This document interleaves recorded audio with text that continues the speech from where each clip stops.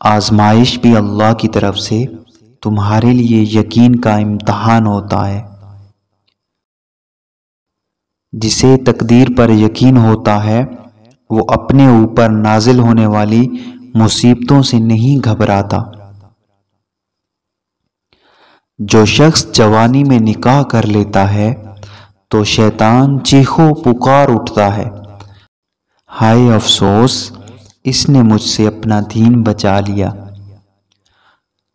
तुम समंदर की गहराई से पुकारोगे, अल्लाह वहाँ भी तुम्हारी सुनेगा।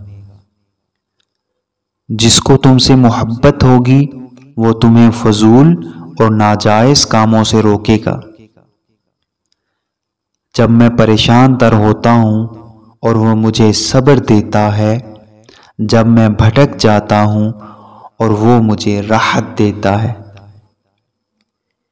एक महरम अपनी बीवी को अपनी निगाह में रखे तो उसे कभी ना महरम की निगाह गुमराह नहीं कर सकती। अल्लाह तुम्हें ज़िंदगी की हर खुशी दे, जो तुम्हारे हक में बेहतर और मुस्तकिल हो। आमीन। जो आदमी अपनी कदर आप नहीं जानता तो कोई दूसरा आदमी भी उसकी कदर नहीं पहचानता।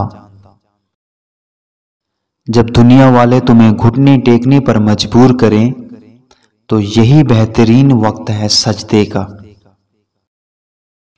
मैंने पढ़ के देखी है सूरह खाफ मेरा रब अपने नेक लोगों को बुराई से बहुत दूर ले जाता है। तुम्हारी हस्ती का इतना तो रोब हो पास से गुजरे जो कोई औरत तो वो बेखौफ हो। बाहर निकलो तो चेहरे पर हिजाब हो और लहजा इतना तलख हो, तेजाब हो। अपने राज को अपने तक ही रखो, क्योंकि जब तक तुम्हारा राज तुम्हारे पास है, वो तुम्हारा गुलाम है। और जब तुम्हारा राज दूसरों तक पहुँचता है तो तुम अपने राज के गुलाम बन जाती हो। अपने रब पर भरोसा रखो, वो तुम्हारी मनपसंद चीज़ तुम तक लाएगा। मुकर्र वक्त पर और तुम हैरान हो जाओगे। तुम्हें परों के साथ पैदा किया गया है, क्यों ज़िंदगी में रेंगने को तरजीह देते हो? हज़रत अली रज़ी अल्लाह तु से पूछा गया कि कैसे पता चलता है कि कौन ज़्यादा कीमती है?